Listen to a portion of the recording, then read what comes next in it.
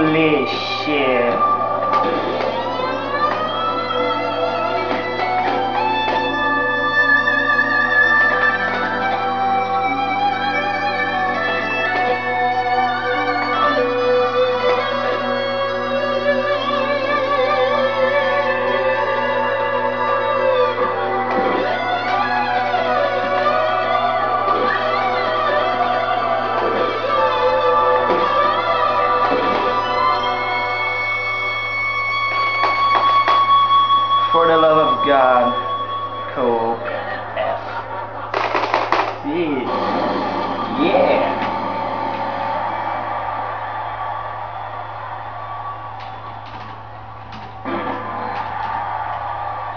Fuck yeah.